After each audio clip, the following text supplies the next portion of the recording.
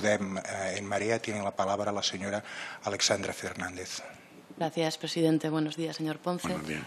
Eh, no le voy a preguntar en exceso por el informe de la CIAF, porque acaba de comparecer el exdirector de la CIAF, que sí que fue la persona responsable de, de elaborar el informe, y cuando quien era la, eh, la persona responsable de hacer el informe no ha sido capaz de justificar el propio informe, eh, y cuando se ha puesto encima de la mesa eh, los argumentos que, que, ha dado la ERA para, para, poner en causa ese informe, no ha sabido dar respuestas. Eh, no ha dado respuestas ni en cuanto a la falta de, de las causas profundas eh, y subyacentes, como exige la normativa. No ha lo- dado Ya se lo he comentado yo ahora.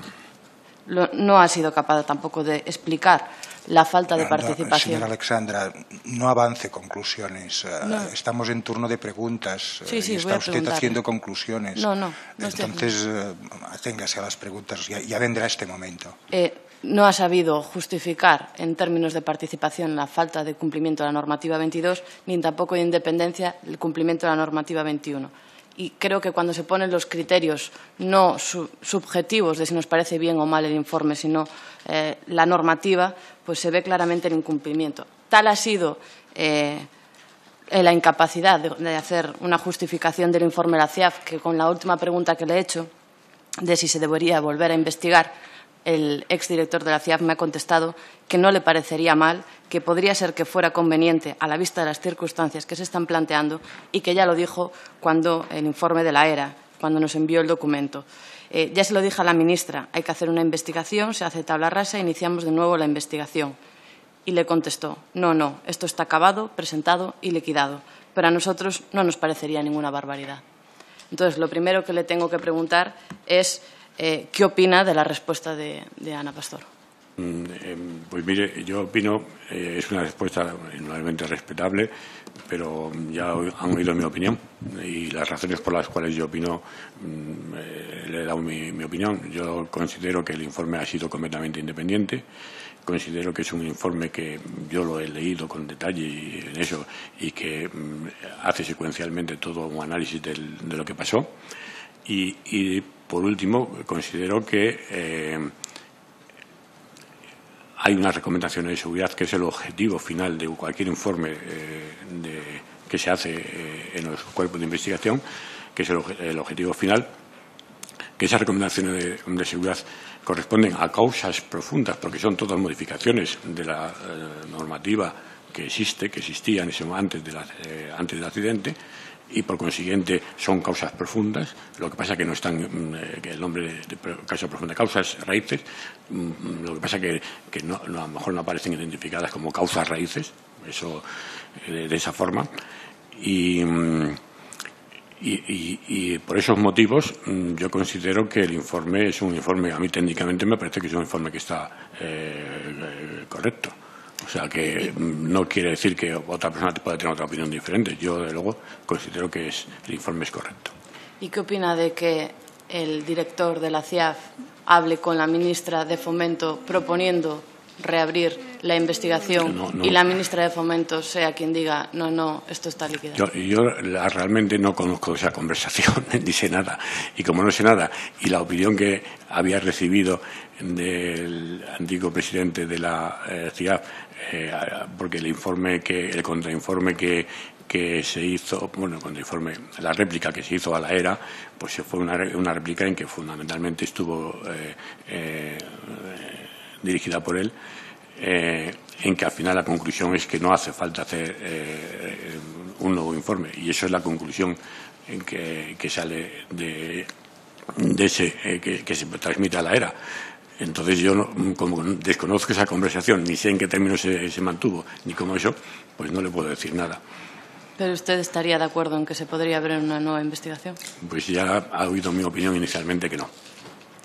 Eh, yo creo que aquí usted el papel principal que juega no es eh, hacer el informe, que es el que jugó el exdirector, sino ser la persona que se niega a abrir la investigación a pesar de que Europa lo exige. Por eso creo que hoy las preguntas son ¿qué va a hacer usted eh, como director? Entonces, la primera pregunta es si hay un cumplimiento de la participación en las víctimas en ese informe, porque no era solo la cuestión no era solo que se les informase, era que participasen. Si hay un incumplimiento de la normativa, ¿Va usted a abrir una nueva investigación en la que se le dé entrada y participación a las víctimas?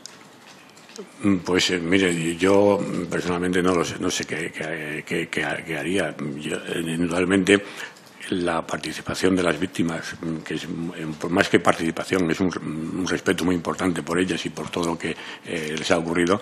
Eso en primer lugar. Lo que yo no sé eh, la aportación a un, estudio, un informe técnico, porque el informe que está, la ciudad hace un informe técnico eh, en el cual unas consideraciones que hace que está en las recomendaciones es atender eh, en, lo posible, y dicen así en lo posible, a, la, situación de las víctimas. Mm, yo no sé si en un informe técnico, pues esa atención a las víctimas Mm, cambiaría algo el informe técnico. Yo pienso que el informe técnico tendría que ser eh, sería exactamente el mismo y desde luego lo que ya le he dicho que la atención a las víctimas pues habría que hacerlo no sé cómo no no en este caso que ya está pasado y que desgraciadamente pues es, eh, hace mucho tiempo cinco años han dicho ustedes que ha ocurrido el accidente pero que sí en el en el futuro y eso es lo que estoy procurando ahora en todos los accidentes que ocurren que haya una cierta atención a, una atención dentro de lo posible porque eh, a las víctimas ¿eh? y en ese sentido estamos yo de luego no creo pienso que el informe mm, mm, eh, en relación con el tema de la atención a la víctima no es eh, motivo único para, abrir para empezar a hacer un informe de, investigación técnica eh, de nuevo. Yo no creo que sea ese. Usted habla en términos de atender a las víctimas. Yo le voy a leer el artículo 22.3 de la directiva eh, sobre cómo se deben realizar las investigaciones. Se informará periódicamente de la investigación y de sus avances a las víctimas y a sus parientes y, tendrán la oportunidad de exponer sus opiniones y puntos de vista durante la investigación y la posibilidad de hacer observaciones sobre la información de los proyectos de informes. Por lo tanto, no es una cuestión solo de atender, sino de que participen activamente. Y aquí no se les ha... información sobre No han tenido ni la primera reunión que han tenido que irse a Europa para que alguien los recibiese.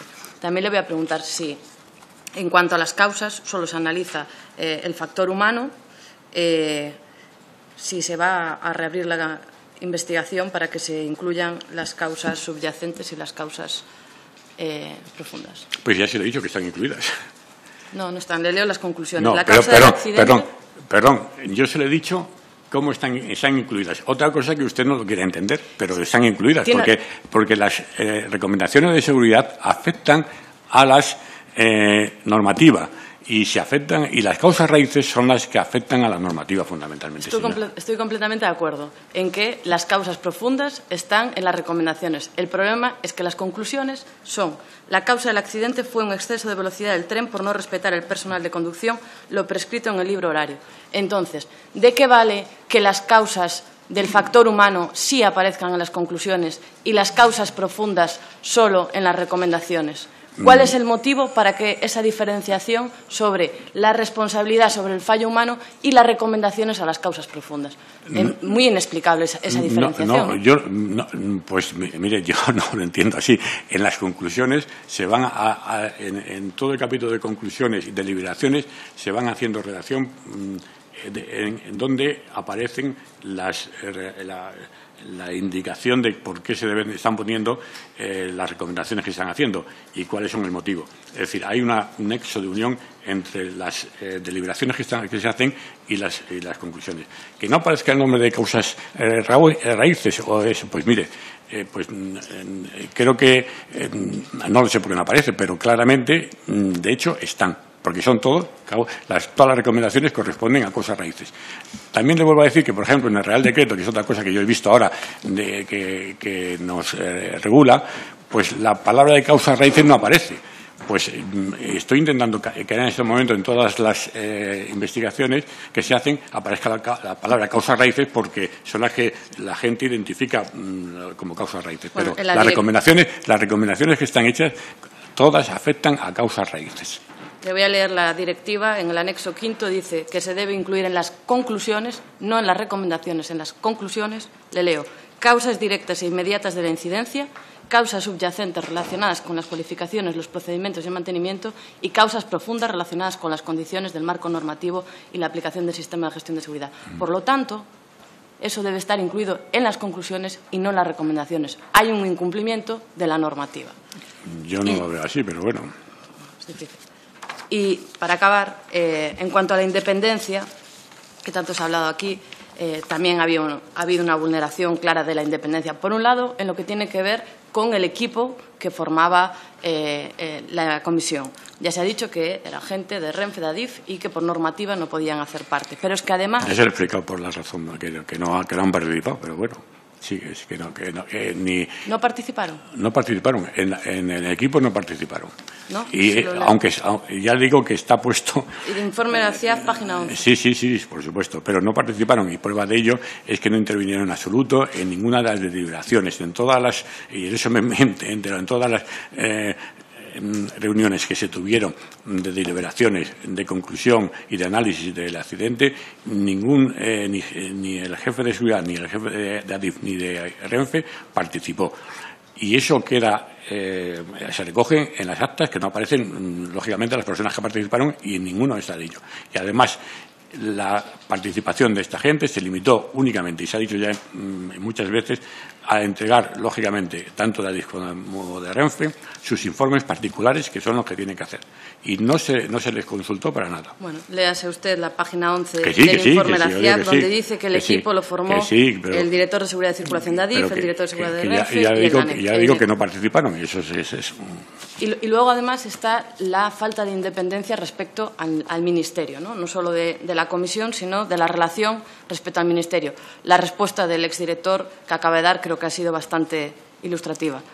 Eh, además, eh, mientras Europa estaba exigiendo al Estado español que abriese de nuevo la investigación, el ministro de Fomento, señor de la, Serna, tiene la posibilidad de eh, mandatar a un nuevo presidente de la CIAF.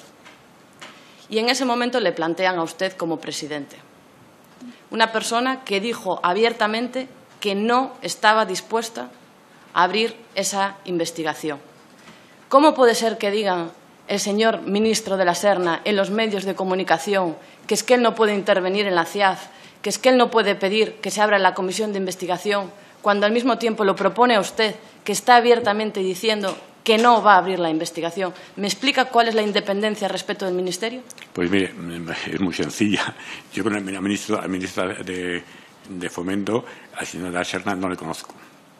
No le conozco. No he hablado nunca con él. No le conozco. La independencia no, tiene momentito, que ver con un momentito, déjeme. Cuando mm, eh,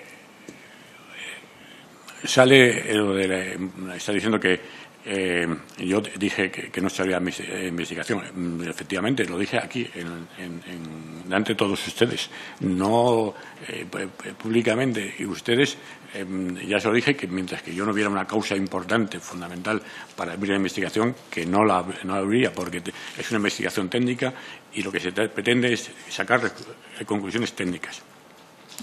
Y para mí el, informe de la CIAF técnicamente está bien hecho. Y además así está puesto también en, lo de la, era. Que haya habido defectos de forma, pues a lo mejor ha habido defectos de forma, no lo digo que no, pero ya se lo he explicado. Y desde luego eh, el informe me parece un informe correcto.